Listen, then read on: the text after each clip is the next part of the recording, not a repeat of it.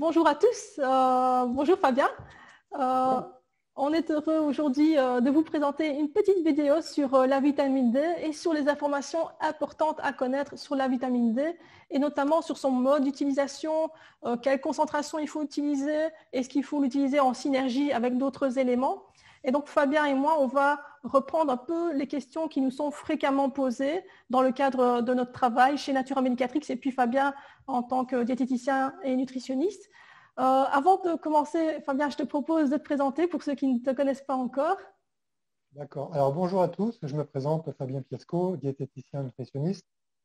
Euh, depuis une dizaine d'années, professionnel de santé depuis euh, presque 20 ans, et j'interviens chez Natura Medicatrix pour le conseil scientifique.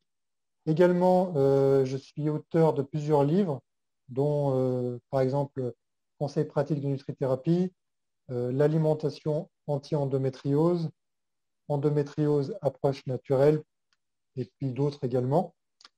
voilà. merci. donc je vais répondre aux questions. On va voir ce qu'on peut dire sur la vitamine D merci, merci Fabien. Effectivement, tu as un vrai plus de connaissances hein, en, phytothérapie, en nutrithérapie. On peut vraiment compter sur toi chez Nature Médicatrice en tous les cas. Mais commençons ici une petite atroce sur la vitamine D. Euh, pour ceux qui ne le sauraient pas encore, 90, euh, plus de 90% de la population est carencée en vitamine D en France. C'est pareil en Belgique, plus de 90% de la population est carencée en France, surtout en hiver. Et euh, initialement, la vitamine D était conseillée surtout pour renforcer, euh, aider au renfort de l'ossature. Mais euh, à l'heure actuelle, avec la COVID-19, on en parle surtout pour ses effets bénéfiques sur l'immunité. il y a des études qui ont montré notamment que les personnes qui sont carencées en vitamine D et qui ont le Covid-19 ont un risque beaucoup plus élevé de mortalité, jusqu'à 40 fois plus de risque de mortalité lié à la maladie. Et donc, c'est pourquoi des, centaines de scientifiques, des médecins et les professionnels de santé conseillent de se supplémenter avec cette vitamine D. Et donc, ça m'amène à la première question. Fabien, à ton avis, euh, qui devrait se supplémenter en vitamine D? Alors, bonne question. Alors, en hiver, automne-hiver, a priori, tout le monde, puisque euh, à nos latitudes, il n'est pas possible de fabriquer correctement de la vitamine D. Euh, tout simplement par le manque de rayonnement solaire. Et euh, deuxième chose, les, rayons, quand il y en a, sont trop à l'oblique, ce qui fait que la longueur d'onde n'est pas la bonne et on n'est pas en mesure de pouvoir fabriquer de la vitamine D. Donc c'est pour ça qu'on se retrouve avec une très grande partie de la population qui se retrouve carencée euh, en hiver. Donc je dirais tout le monde peut en profiter en ce moment par exemple. Ok, merci. Et c'est vrai qu'un un, élément qui est aussi important à savoir, c'est que si on, peut être carencé en vitamine D, mais on ne ressent pas forcément, il n'y a pas forcément d'effet secondaire qui est ressenti. Et généralement, une carence qui, aura eu lieu euh, pendant la, jeunesse, pendant plusieurs mois, plusieurs années, ben, les effets se ressentiront plusieurs années après, euh, à, la cinquantaine, euh, avec des risques d'ostéoporose et donc des risques de fractures peut-être plus importantes entre autres. Euh, et donc, euh, d'où l'importance finalement euh, de faire une analyse sanguine pour s'assurer que le taux est, bien correct. Et donc, ça m'amène à la deuxième question. Fabien, à ton avis, quel taux de vitamine D doit-on viser dans la supplémentation pour avoir un taux correct et avoir des résultats d'analyse sanguine qui soient corrects? D'accord. Alors, déjà pour l'analyse sanguine, c'est un peu confus pour la plupart des gens, puisque euh, les, normes de laboratoire sont faites pour l'ostéoporose et euh, pour certaines autres euh, affections, autres problèmes de santé, on pourrait viser plus haut. Donc, on va dire que la norme, c'est entre 30 et 50 nanogrammes, ou jusqu'à 60, qui est une bonne, une bonne fourchette, on va dire. ça, c'est au minimum ce qu'il faut viser. Et après, pour certaines pathologies, en prévention, on pourrait viser plus pour euh, euh, les cancers, euh, les maladies, auto-immunes, on pourrait viser entre 60 et 80 nanogrammes. autre précision importante, bien faire attention à ne pas confondre les nanogrammes et les nanomoles à la prise de sang. Les nanomoles, c'est 2,5 fois plus que les nanogrammes. Et parfois, certaines personnes disent, oui, je suis bien, je suis à, 50. Mais en fait, 50 euh, nanomoles, ce n'est pas terrible du tout. Voilà, donc attention à ne pas confondre les deux. Et attention à ne pas confondre le, le, taux sanguin avec euh, le dosage de la vitamine D qu'on prend, puisque ce n'est pas nécessairement proportionnel. C'est un peu plus compliqué que ça. Alors, combien en prendre euh, Il y a plein de petites règles, mais il n'y a pas de, de, règles fiables à 100%. Ça, c'est un peu la difficulté. Euh, on pourrait partir déjà sur une, pour un adulte sur une dose sûre, vraiment sûre sur le plan toxicologique, euh, pour les reins, pour, euh, pour euh, de, on va dire, pour prévenir tout problème lié à une surdose, 2000 unités, 2000 UI, UI veut, dire unité internationale, 2000 UI par jour est tout à fait sûr pour tout le monde, aucun risque de surdosage à cette dose-là. C'est impossible. en ce moment, on parle de la vitamine D en prévention de Covid-19. Là, la plupart des experts préconisent 4000 unités par jour, qui a priori serait plus approprié euh, dans le but d'avoir une meilleure immunité et euh, d'avoir une, réponse euh, inflammatoire moins importante, c'est-à-dire que l'orage cytokinique serait moins fort, sachant que c'est ça qui tue dans, la Covid.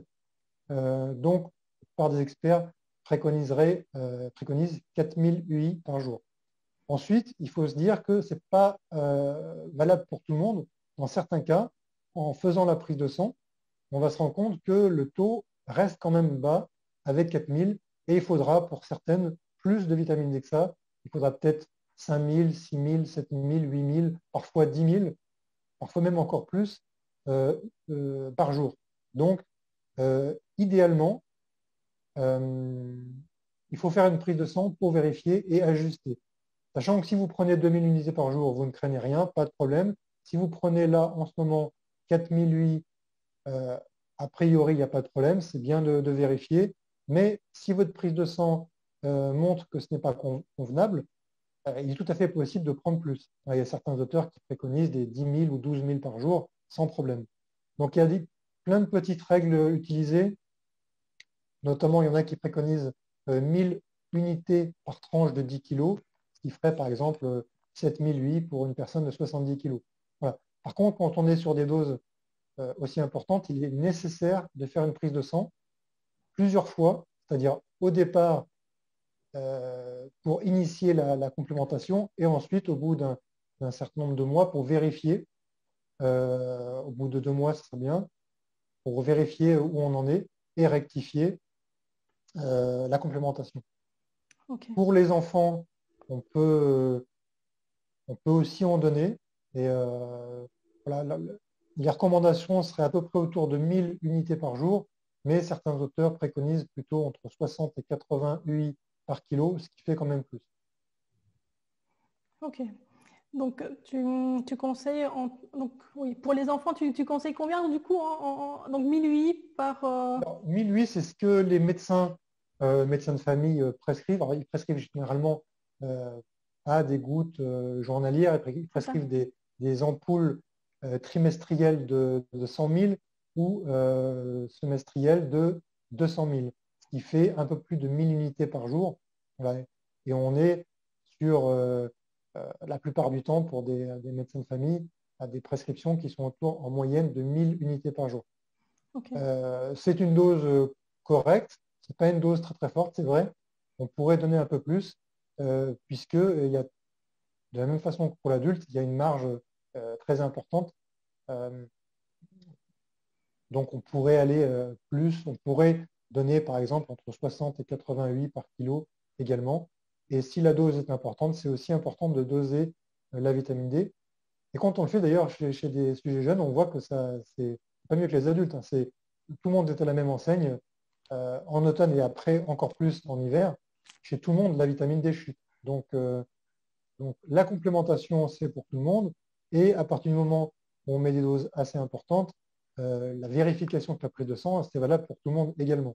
Ok, très bien, merci. Et je précise aussi que la vitamine D, euh, ça tu le disais très bien dans l'introduction, ce n'est pas que pour les os, la vitamine D joue à de, sur de multiples euh, organes, cibles, cellules dans le corps, y compris sur le cerveau, et on peut avoir un lien entre la vitamine D et le psychisme. C'est une, action sur la, une action sur la sérotonine. Donc on peut avoir un, rôle de la vitamine D sur la dépression, le comportement, y compris chez des enfants. Donc c'est important de doser chez tout le monde. Oui, et c'est vrai que chez Natura Medicalix, on préfère de conseiller plutôt une prise quotidienne sous, forme de gouttes. Et euh, comme tu dis, ça agit aussi sur la sérotonine. Donc, euh, euh, la vitamine D, ça devrait être un accompagnement quotidien de, son plat du soir. Finalement, tous les soirs, on a sa vitamine D qui accompagne, qui accompagne son, plat du soir. Ah, exactement, tout à fait. Alors, très juste, moi, je conseille vraiment de prendre la vitamine D le soir et non pas le matin. Pour beaucoup de gens, vitamine, ça, rime avec euh, quelque chose qui va être euh, dynamisant. Ce n'est pas, vraiment le cas pour la vitamine D. Donc, euh, la vitamine D, il vaut mieux la prendre le soir, au repas, toujours en mangeant pour que ça soit mieux assimilé, avec des lipides, puisqu'elle est liposoluble. Et finalement, la vitamine D va améliorer le sommeil et améliorer la sérotonine. Donc, aucun intérêt d'améliorer la sérotonine en début de journée. Par contre, euh, en fin de journée, le soir, c'est très important pour être détendu, pour être calme, pour mieux dormir. Donc, euh, pensez plutôt la vitamine D au repas du soir, contrairement à ce que font la plupart des gens. Voilà, parfait. J'espère que vous qui nous écoutez, bah, vous aurez dorénavant votre petit flacon de vitamine D avec votre repas du soir, finalement.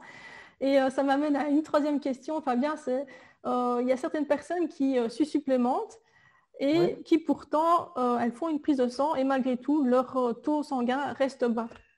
Pourquoi? Alors, il y a des, tas de raisons. Euh, la première, ça peut être tout simplement que la dose n'est pas suffisante. On a, on a, certains compléments qui sont dosés à 200 UI, d'autres à 400. Et ça, c'est vrai que une prise de 200 ou 400 UI ne fera pas grand-chose. il faudra quand même plus. Première chose. Ensuite, il y a d'autres il y a des facteurs qui peuvent influencer, euh, qui peuvent amener à plus de, besoins en vitamine D. Euh, la première, c'est surtout à la sortie de l'été, on va dire, quand on est au printemps, les personnes qui ont la peau mate, les personnes qui ont la peau noire, euh, auront une vitamine D qui va moins vite monter. pourquoi? Parce que la mélanine de la peau est un filtre. C'est un filtre solaire en quelque sorte. Hein. Et donc, plus la peau est mate, plus il y a de mélanine, plus il y a de mélanine, plus on filtre les UVB solaires et moins on fait rapidement la vitamine D. Donc voilà, donc euh, les personnes qui ont la peau mate, la peau noire filtre beaucoup, donc le taux finalement va remonter beaucoup plus difficilement. Deuxièmement, les personnes qui sont en surpoids et surtout obèses vont avoir la vitamine D qui est liposoluble séquestrée dans le tissu gras et qui vont avoir beaucoup plus de mal à faire remonter la vitamine D on aura des besoins chez une personne euh, en obésité deux à trois fois supérieurs à une personne euh, de poids normal. Donc, ça, ça peut être aussi euh, comment dire, un indice qui fait que la vitamine D ne, remonte pas. ensuite, il peut y avoir aussi des, des, mésusages, on va dire, du complément de vitamine D. des personnes qui la prendraient à jeun. Pas prendre la vitamine D à jeun, il faut bien la prendre en mangeant ou alors en mangeant, mais avec un repas sec, un repas euh, où il n'y a pas du tout de lipides dedans, euh, avec une pomme à 4 heures, quelque chose comme ça, c'est mieux de prendre avec un repas qui contient des lipides. Euh, ensuite, un autre point qui pourrait intervenir, c'est que certaines personnes ont des défauts d'absorption des lipides et la vitamine D dans, les produits huileux, ce sont des lipides, si vous voulez. Euh, donc, euh, il y a une astuce quand même pour ça, c'est d'avoir une vitamine D qui est solubilisée dans des huiles de TCM, des huiles de triglycérides à chaîne moyenne. vous en avez par exemple euh, chez Natura Medicatrix le produit du Dr Jacob. Toutes les vitamines D du Dr Jacob sont solubilisées dans de l'huile de TCM. Donc pour ceux qui ne savent pas ce que c'est, c'est de l'huile de coco, mais pas de l'huile de coco toute simple, une huile de coco dans laquelle on a sélectionné certains acides gras, les acides gras à, 8 et 10 carbone. Leur, taille relative, on va dire, que ce ne sont pas des grands acides gras, ce sont des acides gras moyens, des acides gras à chaîne moyenne, font qu'ils ne vont pas être assimilés comme les autres graisses. en quelque sorte, c'est du gras qui n'est pas absorbé comme du gras. Normalement, les, lipides, euh, les acides gras à chaîne longue sont absorbés euh, via les chylomicrons par le système lymphatique. Euh, et les autres nutriments, autres que les graisses, ne sont pas absorbés par cette voie-là. Absorbés par, par la, voie porte. Une fois que les, nutriments sont absorbés par l'intestin, ils arrivent par les vaisseaux sanguins qui se rejoignent à la veine porte au foie ça arrive directement par ce biais. Et les, huiles de TCM vont être absorbées de cette façon et non pas comme les autres gras. Ce qui fait que les, huiles de TCM peuvent être absorbées, y compris par les gens qui ont des gros défauts d'absorption des lipides, euh, comme on pourrait l'avoir dans la mucoviscidose, dans, la maladie de Crohn, ou euh, chez des gens qui ont des, déficits en, sécrétion biliaire, voilà, euh, des gens qui auraient des troubles intestinaux, qui auraient l'intestin irritable.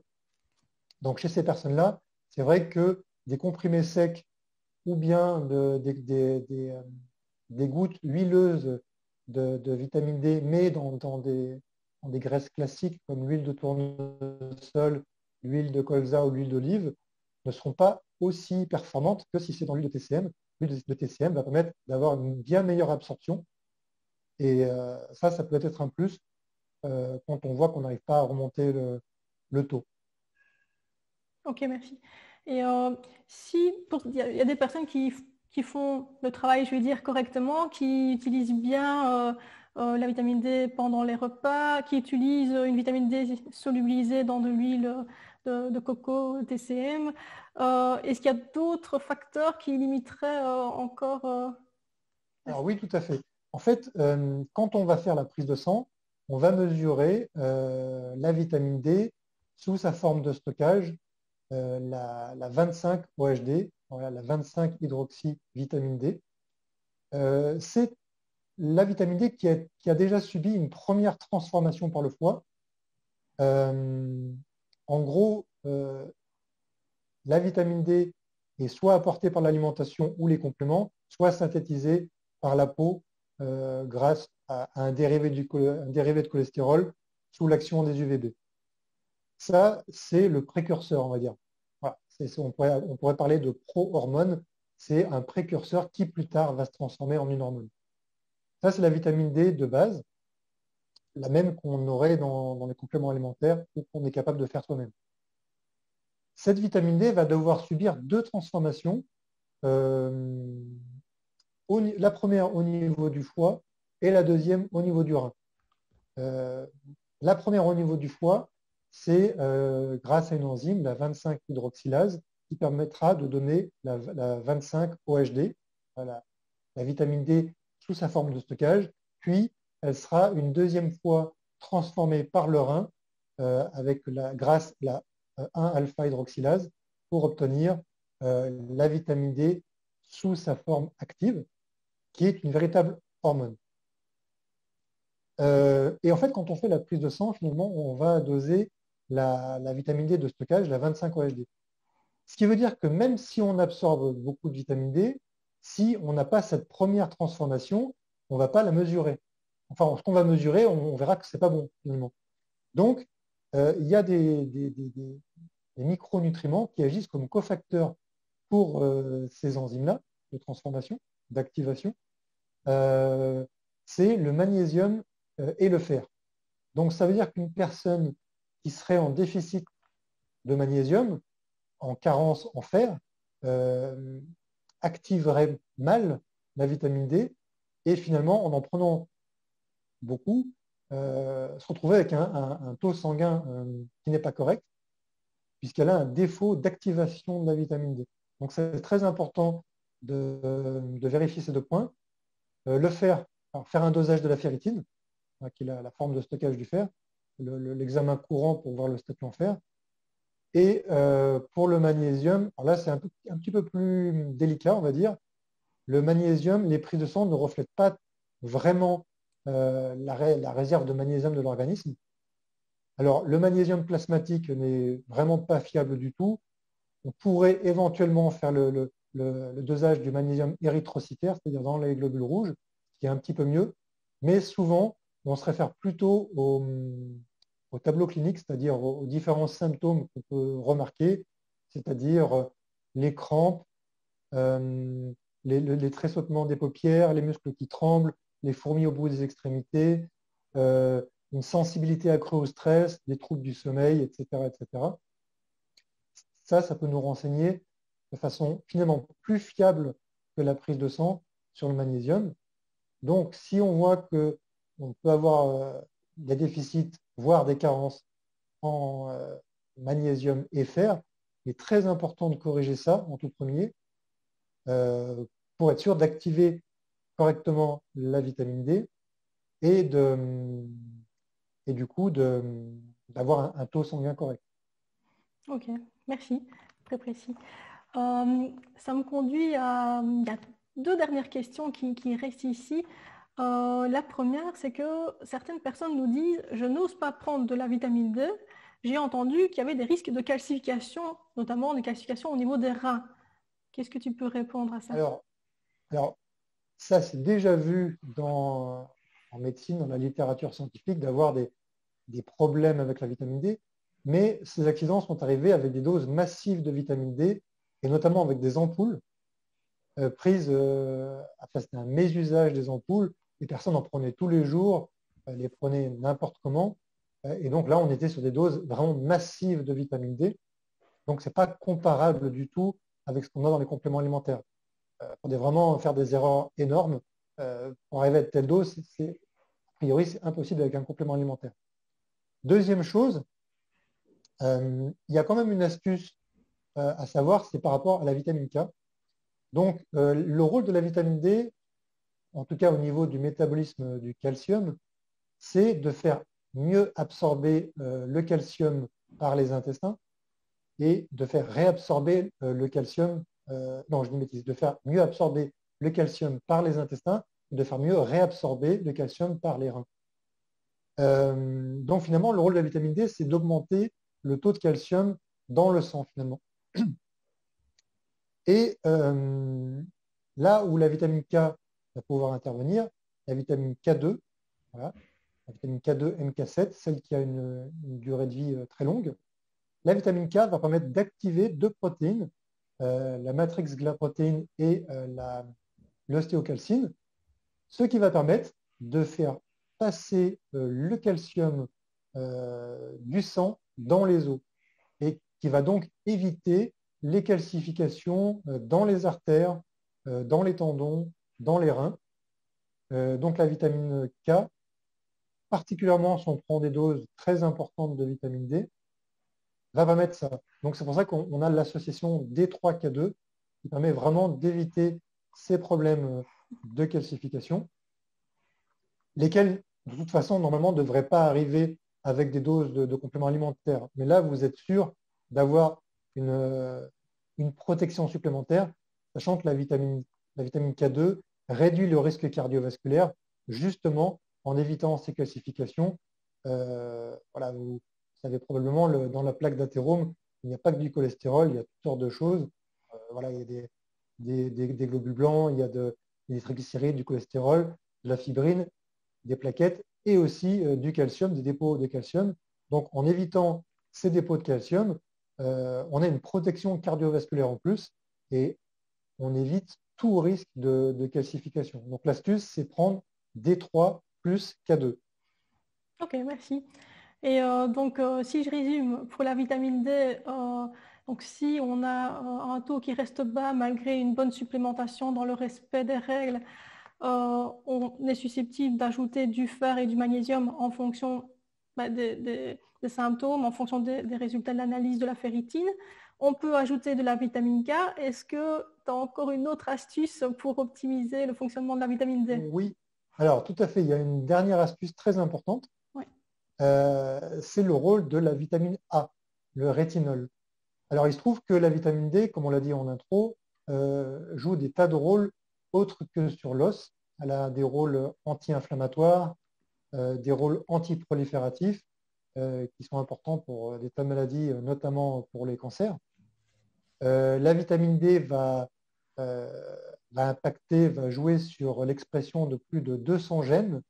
Et pour qu'elle puisse avoir ces actions-là, elle a besoin d'agir dans la cellule, dans le noyau de la cellule, mais euh, pour modifier ces, plus de 200 gènes, elle a besoin de la vitamine A. Alors c'est très simple. La vitamine D va euh, euh, s'accrocher, se, mettre sur son récepteur, le, VDR, le récepteur à la vitamine D, mais elle aura besoin aussi de la vitamine A, qui elle doit se mettre sur son propre récepteur, pour faire simple, le RXR, et l'ensemble rétinol RXR plus vitamine D VDR s'associent pour former ce qu'on appelle un hétérodimère, et c'est sous cette forme-là que la, que, la, vitamine D va pouvoir agir et euh, avoir ses effets santé euh, protecteurs sur des tas de maladies. Et donc c'est très important finalement d'avoir un, taux de rétinol correct euh, pour que la vitamine D puisse agir comme ça. Donc, l'intérêt, c'est de demander à votre médecin la prescription du dosage de la vitamine D et en même temps de, de demander le dosage du rétinol et de vérifier. Parfois, ça ira très bien, mais parfois, vous aurez peut-être un déficit en rétinol et du coup, il faudra corriger également ce déficit.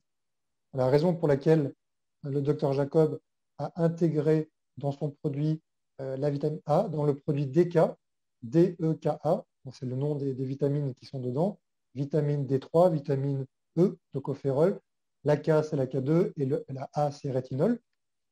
Donc dans ce produit, vous avez euh, finalement euh, la D, la K, la A, et la E, c'est aussi pour stabiliser les, autres, enfin, les vitamines dans l'huile, dans, pas qu'il y ait d'oxydation. Mm. Et là, vous, pouvez corriger l'ensemble. Ça évite de prendre des tonnes de capsules d'huile de foie de morue euh, pour pouvoir corriger euh, son rétinol. Et donc, si vous avez rétabli euh, le rétinol, vous pouvez profiter entièrement de tous les bienfaits de la vitamine D, on va dire, sur la protection sur toutes sortes de maladies. Ok. Voilà. Merci Fabien. Euh, ben, si on résume un peu, un peu tout ce qu'on a dit, euh, donc euh, la vitamine D, c'est bénéfique pour tout le monde, pour l'immunité, pour l'ossature, pour la musculature, peut-être même en prévention de certains cancers, accompagnement de certains cancers. les adultes, actuellement, on peut estimer qu'ils peuvent se supplémenter à hauteur de 2000 UI par jour, plus ou moins. 2000 à 4000 2000 à 4000 pour, pour Covid-19 en ce moment et après, plus avec, euh, avec l'analyse. Oui. Euh, tandis que les enfants, ben, tu as parlé de peut-être 60 UI par kilo. Donc, euh, par exemple, un enfant qui, fait 15 kilos, on fait 15 fois 60. Ça fait plus ou moins 900 UI de, vitamine D par jour. juste, voilà, pour information, justement, le docteur Jacob fait une vitamine D dosée à 800 UI par goutte. Donc, celle-là, elle conviendrait plutôt pour des enfants. Euh, et il fait une autre qui est plus dosée à 2000 euh, UI par goutte. Donc là, qui conviendrait bien pour euh, des adultes finalement ou pour une famille. Hein. donc voilà, donc pour les deux vitamines D3 que fait le docteur Jacob? Alors tu as parlé aussi de l'importance d'éventuellement associer la vitamine D avec la vitamine K pour empêcher les risques de calcification. ici, ben, voilà une vitamine D3K2 que fait le docteur Jacob qui est dosé à 800 UI de vitamine D par goutte et 20 microgrammes de vitamine K. Il fait une autre qui est encore plus dosée, 2000 UI de vitamine D par goutte et 50 microgrammes de vitamine K. Et donc, il y a, euh, il y a aussi la vitamine D, DK dont, tu as parlé, où là, il a rajouté en plus la vitamine A. Euh, donc, toutes ces huiles euh, sont solubilisées dans de l'huile TCM, donc de, noix de coco, issue de noix de coco. Donc, même si on a un déficit en termes de, gestion des lipides, d'assimilation des lipides, elles seront malgré tout très bien assimilées, comme tu l'as expliqué précédemment. Euh, éventuellement, tu as parlé. Oui, tu voulais dire peut-être quelque chose d'autre parfait. un autre, une autre information, tu as parlé d'éventuellement les problèmes de, déficit en magnésium et en fer qui pouvaient empêcher au taux de vitamine D d'augmenter, qui empêchent la formation de la vitamine D active finalement. Et donc pour ça, éventuellement, on a le Cognimac chez nous, qui est un bon magnésium, un magnésium sous forme d'acétyltaurinate de magnésium. Et donc, c'est un magnésium qui est très bien assimilé au niveau intestinal et neuronal. Et Fabien, tu, tu l'apprécies particulièrement aussi dans le cadre des enfants hyperactifs. il a des, propriétés intéressantes. On ne l'expliquera pas ici, on n'a pas le temps, mais voilà, c'est intéressant de, de, savoir. Et puis, pour ceux qui auraient une ferritine qui est trop basse, on a le fer liposomal que le docteur Jacob a mis au point donc c'est un fer qui est entouré d'un liposome et qui permet une bonne assimilation du fer au niveau intestinal grâce à ce liposome. C'est une assimilation qui est trois fois meilleure par rapport à un fer traditionnel. Ben voilà, euh, peut-être juste une dernière information. On voit le livre qui est juste derrière toi. C'est euh, le livre Vitamine D3K2 qui a été écrit par le docteur Résimon qui reprend toutes les études sur la vitamine D, la vitamine K, les synergies dont tu as parlé avec la vitamine A, le magnésium, le fer, euh, etc., et la vitamine K. Mais voilà, Fabien, je ne sais pas si tu veux rajouter quelque chose pour conclure euh, cette euh, information. non, c'est très bien. je pense que c'est parfait. Je pense qu'on a tout dit sur la vitamine D. En tout cas, les, informations les, les, plus importantes, à savoir pour que les, personnes doivent savoir absolument pour bien réussir euh, leur complémentation en vitamine D et pour qu'elle soit efficace. Merci Fabien et merci à vous pour votre écoute. Et euh, si vous avez des questions, on va mettre euh, en dessous en lien une adresse email avec notre site internet pour que vous puissiez poser des questions si vous avez d'autres questions. Merci. Au revoir. Au revoir.